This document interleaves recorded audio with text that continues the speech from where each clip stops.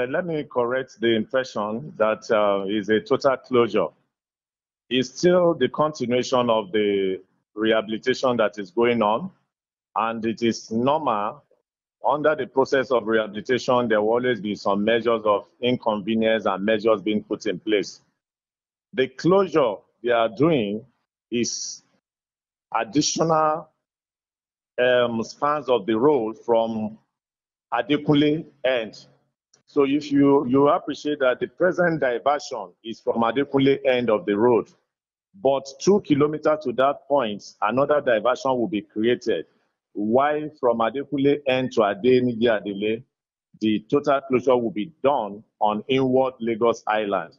Why the other side of the road, that's Oworonshoki Bond, is still open So traffic going to Island in the morning and coming out of Highland as from 12 midday. It's a plan for the diversion from 15th of January to 29th of January. So outwards, that's inward Lagos Island, will be closed down from Adekunle end for the two weeks. That's the sacrifice we have been making in the last few months for us to have a safe bridge that one will be able to apply without any fear.